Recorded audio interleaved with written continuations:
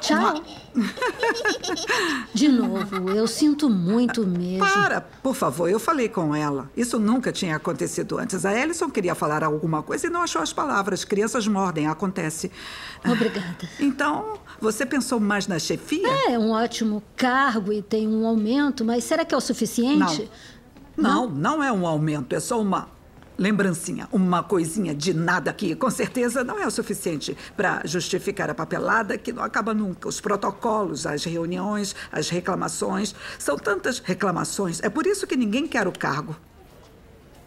Ah, mas você está numa posição de negociação muito interessante, Altman. Eles precisam de você. E se eu fosse você, eu pediria a Lua e os planetas e Plutão.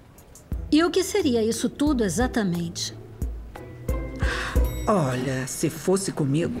Um assistente administrativo em tempo integral que será a pessoa de referência para qualquer reclamação da equipe. E essa pessoa também irá nas reuniões de orçamento no meu lugar. Se eu não estiver disponível e fará anotações para o meu relatório. Eu também quero três semanas adicionais de folga e o dobro do aumento que vocês ofereceram e um orçamento para pesquisa. Uh, é muita coisa a se considerar. São os meus termos, senhor.